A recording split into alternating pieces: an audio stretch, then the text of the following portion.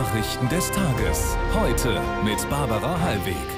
Guten Abend, schön, dass Sie dabei sind, wie auch Norbert Lehmann für den Sport. Einen schönen guten Abend auch von mir. Und das sind die Nachrichtenthemen dieses Samstags.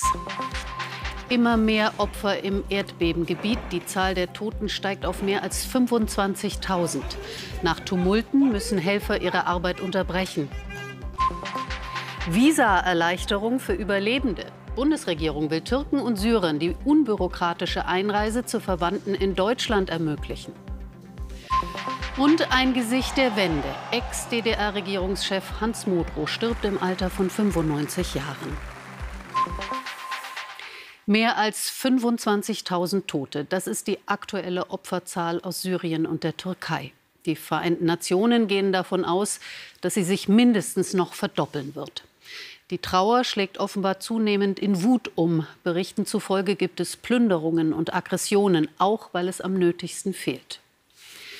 Wegen der Sicherheitslage haben mehrere Rettungsteams in der türkischen Region Hatay ihre Arbeit unterbrochen.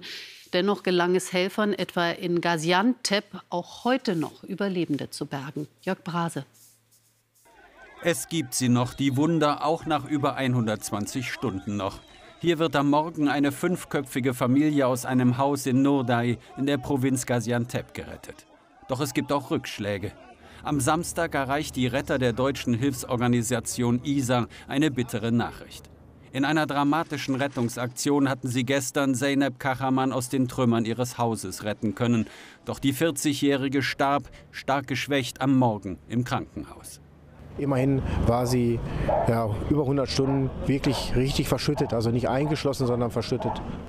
Kurz darauf mussten die Helfer von ISA und Technischem Hilfswerk die Arbeit einstellen, aus Sicherheitsgründen. In der Provinz Hatay waren Schüsse gefallen, die Stimmung wird aggressiver. Das ist zum einen der Tatsache geschuldet, dass jetzt Nahrungsmittel ausgehen, dass die Wasserversorgung ausgeht und dass die Leute dann auf der Suche nach Nahrungsmitteln und Wasser sind.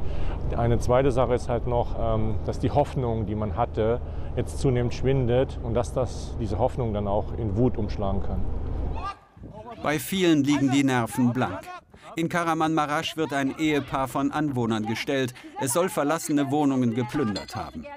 Diebstähle werden auch aus anderen Teilen der Krisenregion gemeldet. Das türkische Verteidigungsministerium schickte über 25.000 bewaffnete Soldaten in die Erdbebengebiete, um zu verhindern, dass Plünderungen und Gewalt eskalieren. Wir haben den Ausnahmezustand erklärt.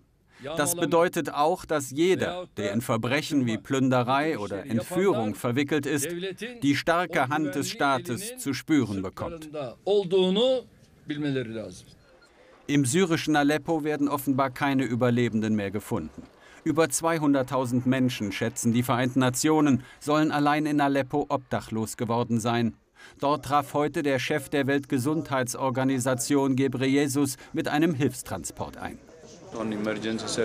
Wir haben Nothilfeausrüstungen und andere Hilfsmittel gebracht. Das war heute die erste Lieferung. Eine zweite wird morgen folgen und es wird sicher noch weitere geben. Uh, Aleppo liegt in einer von der syrischen Regierung kontrollierten Region. Das Erdbeben aber wütete auch in Rebellengebieten. Dort warten die Menschen weiter auf Hilfe von außen. In den Katastrophengebieten stellen sich zunehmend Fragen. Vor allem, warum waren so viele Gebäude nicht erdbebensicher gebaut? Antworten finden sich dort, wo trotz der Erschütterungen die allermeisten Häuser stehen blieben etwa im türkischen Adana. Weniger Korruption, weniger Pfusch am Bau. Doch auch dort gibt es Tote und Leid. Anne Brühl berichtet aus der Zwei-Millionen-Stadt. Eine Schnellstraße, intakte Hochhäuser. Es erschließt sich nicht auf den ersten Blick, wie stark auch Adana vom Erdbeben betroffen ist. Und wie schnell sie hier die Trümmer schon beseitigt haben. Hier stand mal ein 13-stöckiges Haus, erzählen uns Nachbarn. So einen Krach habe ich noch nie gehört. Danach dann der Einsturz von diesem Gebäude wie eine Bombe, die Schreie der Menschen. Mir geht es psychisch nicht gut. Ein Ingenieur der Stadtverwaltung ist gekommen, spricht mit den Nachbarn. Ihre Häuser sind einsturzgefährdet. Eigentlich darf niemand sie mehr betreten. Viele versuchen aber trotzdem kurz das Nötigste aus ihren Wohnungen zu holen. Fünf Tage nach dem schweren Beben sind in Adana fast alle Einsturzstellen geräumt, die Toten geborgen. Wie viele Menschen hier gestorben sind, ist immer noch unklar. Die Hilfe für die Überlebenden hat jetzt Priorität. In einem Bazar in der Innenstadt hat der türkische Katastrophenschutz Zelte aufgebaut für die Überlebenden, für die, die nicht mehr zurück dürfen in ihre Häuser. Ismail Sarac ist mit Frau und drei kleinen Kindern seit Montag hier, zeigt uns sein Zelt. Weil es nachts so kalt wird, haben wir mehrere Decken. Jeder hat drei bis vier Decken. Auch in Adana ist Sicherheit inzwischen ein Thema. Alles in Ordnung, sagt uns der Polizeichef im Interview. Wir als Polizei haben bei allen eingestürzten Häusern Sicherheitsmaßnahmen getroffen. Wir haben denjenigen, die bei Rettungsaktionen dabei waren, geholfen. Wir treffen auch Maßnahmen gegen Diebstahl. Während er mit uns spricht, haben seine Kollegen auf der Straße einen Plünderer erwischt. Sie haben es gehört, wegen der Sicherheitslage haben Rettungskräfte wie das THW ihre Arbeit unterbrochen. Fragen wir Anne Brühl. Sie berichtet seit Tagen aus dem Katastrophengebiet. Anne, wie sind eure Eindrücke? Wird die Stimmung aggressiver? Wenn wir zum Drehen unterwegs sind, dann begegnen wir eigentlich immer nur Menschen im absoluten Ausnahmezustand in Extremsituationen. Überlebende, andere, die Familienangehörige oder Freunde noch unter den Trümmern haben und die natürlich wollen, dass alles dafür getan wird, äh, diese Menschen zu retten oder dann noch wenigstens zu bergen. Und äh, da ist tatsächlich die Stimmung manchmal aufgeheizt, auch aggressiv. Auch wir haben das schon erlebt. Was uns hier auffällt, ist, dass in den letzten Tagen die Polizeipräsenz enorm verstärkt wurde. Es ist auch sehr viel Militär auf den Straßen zu sehen. In den zehn äh, Provinzen des Erdbebengebiets gilt ja auch der Ausnahmezustand. Die Türkei will hier ganz offensichtlich Stärke zeigen. Danke für diese Eindrücke aus Adana, Anne Brühl. Auch hierzulande leben viele, die Angehörige und Freunde in den Erdbebengebieten haben. Sie wollen unbedingt helfen, stoßen aber an Grenzen. Wer zum Beispiel seine obdachlos gewordenen Eltern schnell hierher holen will, tut sich derzeit schwer, weil die ein Visum für Deutschland brauchen. Jetzt verspricht die Bundesregierung Hilfe. Petra Otto berichtet. Anne? Anne. Seine Eltern haben das Beben überlebt. In Malatya, Ostanatolien, rannten auf die Straße, als das Haus erzitterte, sind jetzt notdürftig untergebracht bei Freunden. Mesut Husch würde sie gerne zu sich holen, am liebsten schon morgen. Ja, die sind auch bedürftig, weil die erstmal alt sind. Ich habe hier Platz, ich habe meine Möglichkeiten, die sind dann hier versorgt in Warmen, kriegen Essen. Aber ohne Visum können sie nicht kommen. Und die Visumpflicht, sie gilt nach wie vor. Normalerweise dauert der Antrag Wochen. Jetzt haben viele nicht mal einen Pass. Der liegt oft unter den Trümmern. Die baden-württembergische Landtagspräsidentin selbst kurdischer Herkunft tritt seit Tagen für schnelles Handeln ein. Entscheidend ist, dass die politische Haltung da ist, dass man sich den Ruck gibt und sagt, ja, diese Naturkatastrophe erfordert pragmatische Lösungen und deshalb wollen wir das machen und wenn wir es wollen, dann wird es auch gemacht. Heute scheint sich auch die Bundesregierung zu bewegen. Wir wollen ermöglichen, dass türkische oder syrische Familien in Deutschland ihre engen Verwandten aus der Katastrophenregion unbürokratisch zu sich holen können, mit regulären Visa, die schnell erteilt werden und drei Monate gültig sind. Ob es jetzt ganz schnell geht und auch für seine Eltern gilt, die keine Dokumente bei sich haben, das ist wohl noch offen. Mesut Hosch muss sich noch gedulden und viele andere auch, deren Angehörige im Erdbebengebiet ausharren. Wenn Sie den Menschen in der Türkei und in Syrien helfen wollen, können Sie das tun beim Aktionsbündnis Katastrophenhilfe. Die IBAN lautet DE 65 100 400 600 100 400 600. Stichwort ZDF Erdbeben Türkei Syrien. Alle Informationen gibt es auch unter spenden.zdf.de oder im ZDF-Text auf Seite 890 oder Sie scannen den QR-Code nach Berlin. Dort gab es bei der Wahl im September 21 so viele Probleme und Pannen, dass das Ganze wiederholt werden muss, und zwar morgen. Dabei ist so ziemlich alles offen, ob SPD-Bürgermeisterin Giffey im Amt bleibt und auch, ob die Hauptstadt weiterhin rot-rot-grün regiert wird. Im aktuellen Politbarometer lag die CDU deutlich vor SPD und Grünen. Silvia Blessmann über das Wahlkampffinale. Gemeinsam trauern und gedenken. Am letzten Wahlkampftag stehen alle Spitzenkandidaten der demokratischen Parteien zusammen mit vielen Menschen der Stadt, um Solidarität für die Erdbebenopfer zu zeigen. Berlin ist solidarisch und weltoffen, betont die regierende Bürgermeisterin. Man habe die Flüchtlingskrise bewältigt und ein Wirtschaftswachstum geschafft. Franziska Giffey will ihr Amt unbedingt behalten. Wer regieren will, muss eine politische Mehrheit organisieren. Und wir haben ein großes Interesse daran, dass das Rote Rathaus rot bleibt und dass die SPD weiter die führende Kraft in dieser Stadt bleibt. Auch Bettina Jarasch von den Grünen möchte Bürgermeisterin werden. Eine Linkskoalition unter grüner Führung ist ihr Ziel. Sie will die Stadt umbauen, mehr Klima Klima- und Mieterschutz, weniger Auto. Unsere Leute sind hochmobilisiert, weil wir einfach wissen, dass es wirklich um die Entscheidung geht, gehen wir in eine grüne und gerechte Zukunft oder blockieren wir die und gehen sogar zurück. Und deswegen ist diese Wahlwiederholung auch eine zweite Chance, auch eine zweite Chance für Berlin. Auch die Linken wollen weiter mitregieren, setzen auf ihr klares Votum für eine Umsetzung des Volksentscheides zur Enteignung großer Wohnkonzerne und Hilfen für Benachteiligte in der Energiekrise. Wir wollen konkret, dass sich die sozialen Verhältnisse verbessern, dass der sozialen Spaltung entgegengewirkt wird, die Mietenprobleme angepackt werden. Und das haben wir in den Mittelpunkt gestellt. Selbstbewusst und optimistisch wirkt Kai Wegner im Endspurt. Seine CDU führt in allen Umfragen. Silvesterkrawalle und Wahlchaos brachten der Stadt ein Katastrophenimage. Das will er ändern. Wir gehen mit dem Ziel in den Sonntag, dass diese Stadt einen politischen Wechsel bekommt, dass Rot-Grün-Rot abgewählt wird und dass wir einen Neustart hinbekommen. Und ein Wechsel in Berlin ist nur möglich mit einer ganz starken CDU. Zumindest die FDP wird Wegner an seiner Seite haben. Auch Spitzenkandidat Sebastian Czaja sieht eine Chance zu mitregieren. Wir wollen natürlich ähm, ein ordentliches Wahlergebnis erreichen, weil eine starke FDP erst den Wechsel in Berlin möglich machen wird und damit die Chancen für eine Reformkoalition steigen. Die AfD könnte zweistellig werden, profitierte von der Chaoswahl und den Silvesterausschreitungen. Wir punkten mit innerer Sicherheit. Wir punkten natürlich auch mit dem Thema Migration, ungesteuerte, ungeregelte Migration, mit dem Thema Clankriminalität. Bei der Wiederholungswahl soll nun alles klappen. Genügend Stimmzettel seien da, heißt es. Genügend geschulte Helfer auch.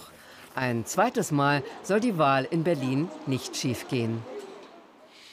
Schauen wir ins ZDF-Wahlstudio zu Bettina Schausten. Bettina, eine Frage ist ja, wie viele in Berlin sich überhaupt zu dieser Wiederholungswahl aufraffen werden. Ja, richtig. Und das ist äh, ziemlich schwer vorauszusagen. Dabei hängt ganz viel jetzt davon ab, ob und wie die Parteien ihre Wählerinnen und Wähler mobilisiert bekommen. Die Grundstimmung, die hier vorherrscht angesichts der großen Problemthemen Verkehr, Wohnungsmarkt, Kriminalität, ist eine irgendwo zwischen Unzufriedenheit und Gleichgültigkeit. Die Arbeit des rot-grün-roten Senats wird mehrheitlich sehr kritisch bewertet. Aber dass es eine CDU-geführte Regierung besser machen würde, glaubt eben eben auch nur eine Minderheit. Das sind schon Berliner Verhältnisse. Die CDU hat laut der Vorumfragen, du sagtest es, die Chance, nach mehr als 20 Jahren wieder stärkste Kraft zu werden. Äh, die Frage, ob daraus dann ein Regierungswechsel wird oder alles bleibt wie bisher, das dürfte den Wahlabend morgen bestimmen. Wir melden uns hier ab 17.45 Uhr aus dem ZDF-Wahlstudio in Berlin. Bis dahin. Dankeschön nach Berlin. Bettina Schausten war das. In Frankreich sind erneut Hunderttausende gegen die geplante Rentenreform auf die Straße gegangen. Allein in Paris versammelten sich Gewerkschaftsangaben zufolge rund eine halbe Million Demonstrierende. Am Nachmittag kam es zu Ausschreitungen. Die Polizei setzte Tränengas ein. Grund für die Proteste sind die Pläne der Regierung, das Renteneintrittsalter von 62 auf 64 Jahre anzuheben. Erneut haben US-amerikanische Kampfjets ein unbemanntes Flugobjekt abgeschossen, diesmal über Alaska. Es habe den zivilen Luftverkehr gefährdet, so ein Regierungssprecher. Erst vor einer Woche war ein mutmaßlicher chinesischer Spionageballon vom Himmel geholt worden. Ob es einen Zusammenhang zwischen den beiden Fällen gibt, ist offen. In Hamburg haben rund 1000 Demonstranten gegen die Menschenrechtsverletzungen in Iran protestiert. Auf Plakaten und mit Sprechchören zeigten sie ihre Solidarität mit der iranischen Protestbewegung und forderten ein Ende des Mullah-Regimes. In Teheran feierte die Führung heute den 44. Jahrestag der Islamischen Revolution. Vor Zehntausenden Menschen erklärte Präsident Raisi die systemkritischen Proteste für gescheitert. Jetzt zu einem, der nach dem Mauerfall bei vielen Hoffnungen weckte auf eine andere DDR. Sein Leben lang blieb er überzeugter Sozialist. Heute ist Hans Modrow im Alter von 95 Jahren gestorben. Als letzter DDR-Ministerpräsident der Staatspartei SED verhandelte Modrow die Annäherung der beiden deutschen Staaten. Bis ins hohe Alter kämpfte er darum, die DDR in ein besseres Licht zu rücken und war bei der Linken aktiv. Henriette de Maizière erinnert. Er diente ein Leben lang seiner Partei, von der SED über PDS bis hin zur Linken. Hans Modrow. Ich denke, ich habe eine Menge in meinem Leben politisch bewegen können. Wer sich einbildet, dass man überhaupt unpolitisch leben kann, der irrt sich. Der gelernte Maschinenbauschlosser Hans Modrow machte nach dem Zweiten Weltkrieg in der neu gegründeten DDR schnell Karriere, studierte in der Sowjetunion Wirtschaftswissenschaften, einer, der sich auf der richtigen Seite wähnte. Wir waren schon der Überzeugung, das bessere Deutschland entsteht im Osten und von dort wird einmal das vereinte Deutschland entstehen. Im Wendeherbst 1989 wurde Hans Modrow für viele zum Hoffnungsträger. Der SED-Bezirkschef in Dresden galt als besonnener Politiker. Er ging auf Bürgerrechtler zu, verhandelte mit ihnen am runden Tisch. Fünf Monate lang stand er an der Spitze des DDR-Ministerrats, begleitete die neue Ära. Die Regierung der DDR ist bereit, die Zusammenarbeit mit der BRD umfassend auszubauen Umstritten indes bleibt Modrows Rolle bei einem Polizeieinsatz gegen Demonstrierende im Oktober 1989 in Dresden. Auch wegen des Vorwurfs der Wahlfälschung wurde er nach der Wende verurteilt auf Bewährung. Seinem sozialistischen Weltbild blieb er bis zum Schluss treu. Den schnellen Vollzug der deutschen Einheit sah er stets kritisch. Hans Modrow, ein durch und durch politischer Mensch. Jetzt zur Biathlon-WM in Oberhof. Norbert, gestern das erste deutsche Gold, heute lief es nicht so gut. Ja, die Männer, die schwächelten heute etwas beim 10-Kilometer-Sprint. Bester Deutscher Johannes Kühn auf Rang 8. Dafür räumten drei Norweger den kompletten Medaillensatz ab. Gold und Silber gingen an die Brüder Bö. Johannes Tines ist der Beste der Besten und der Bundespräsident Frank-Walter Steinmeier hat die ehrenvolle Aufgabe, die Besten zu ehren. Nach einem Fehler liegend der Norweger Bö beim Stehenschießen zweimal im Glück im Nebel von Oberhof. Dazu der schnellste auf der Strecke, Gold, ist bereits früh vergeben. Bester Deutscher Johannes Kühn bei 10 Schuss, 9 Treffer, Rang 8, eine gute Ausgangsposition für die Verfolgung morgen. Das Podest aber ein rein norwegisches Tarjebø gewinnt Silber, Bronze Stola Holm Lagreit. Auch bei der Ski-Alpin-WM in Meribel keine deutschen Erfolge. Beste DSV-Athletin in der Abfahrt Kira Weidle auf Platz 8. Jasmin Fluri aus der Schweiz holte Gold. Dagegen gleich vier deutsche Weltcupsiege im Eiskanal. Überraschend vor allem ihr Triumph Lisa Buckwitz mit ihrem ersten Weltcupsieg im Monobob in Innsbruck-Sieg vor der Australierin Walker. Weltmeisterin Nolte fünfte ganz vorn, aber Lisa Buckwitz. Und ganz vorn auch die deutsche Rodel-Elite in Winterberg. Max Langenhahn im Einzel mit seinem dritten Weltcupsieg in Folge. Bei den Doppelsitzern Wendel Alt nach Sieg heute wieder die Führenden im Gesamtweltcup und last but not least bei den Frauen nicht zu stoppen. Cheyenne Rosenthal und Jessica Degenhardt. Heute hat einfach alles ein bisschen gepasst und ich bin mir sehr glücklich, dass es endlich mal geklappt hat. In Winterberg und Innsbruck heute die deutschen Teams. Das Maß der Dinge. Ja, und endlich sind auch wieder die deutschen Skispringer erfolgreich. Dank Andreas Wellinger. In Lake Placid gewinnt er durch einen 125,5 Meter Sprung im zweiten Durchgang vor dem Japaner Ryoyo Kobayashi. Das ist sein vierter Weltcupsieg. Karl Geiger Achter, Markus Eisenbichler Zehnter. Drei Deutsche also in den Top Ten. Zur Fußball-Bundesliga. Da feiert der BVB seinen sechsten Pflichtspielsieg in Serie durch den Erfolg in Bremen. Hier die bisherigen Ergebnisse des 20. Spieltags. Werder unterliegt Dortmund 0 zu 2. München gewinnt klar gegen Bochum mit 3 zu 0. Hoffenheim verliert auch mit dem neuen Trainer Matarazzo 1 zu 3 gegen Leverkusen. Mainz besiegt Augsburg mit 3 zu 1. Freiburg schlägt Stuttgart durch zwei Elfmeter-Tore 2 zu 1. Das Abendspiel Leipzig gegen Union. Und bereits gestern trennten sich Schalke und Wolfsburg 0 zu 0. Blick auf die Tabelle. Die Bayern bleiben Erster, drei Punkte dahinter jetzt Dortmund, Union Dritter, Freiburg erstmal rauf auf Rang 4 vor Leipzig, Frankfurt Sechster. Die zweite Tabellenhälfte beginnt mit Gladbach. Ja, und am Tabellenende alles unverändert. Stuttgart 16. vor Hertha und Schlusslicht Schalke. Ja, und das Topspiel Leipzig gegen Union bei uns um 23 Uhr im aktuellen Sportstudio. Tolle Besucher, Rudi Völler kommt und DFB-Präsident Neuendorf. Ja, freuen sich schon alle. Sind Ja, gespannt. ja. Denke ich. Der Sonntag wird nur im Südwesten länger sonnig. Ansonsten gibt es viele Wolken. Die Details hat gleich Christa Orben.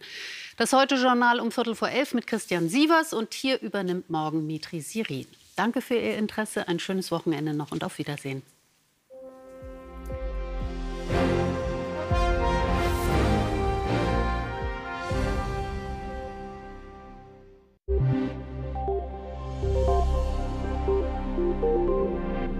Ja, guten Abend. Die Tage werden jetzt wieder länger, die Sonne kräftiger. Zeigen konnte sie dies heute aber nur im Südwesten. Sonst gab es viele Wolken und das ist auch morgen mit diesem Hochdruckgebiet so. Ab Montag sorgt das stabile Hoch dann aber dafür, dass sich auch im Rest des Landes wieder häufiger die Sonne zeigt. In der Nacht verhindern die Wolken jetzt zuerst einmal die Auskühlung. Frostig ist es nur im Süden mit bis minus 5 Grad. Hier auch oft klar. Der Wind im Nordosten lässt schnell nach. Aus den Wolken fällt vor allem am Nordrand der Mittelgebirge immer mal wieder Sprühregen. Das gibt vereinzelt Glätte im bayerischen Wald. Ja, und in den Frühstunden, da bildet sich im Süden und in der Mitte dann verbreitet Nebel.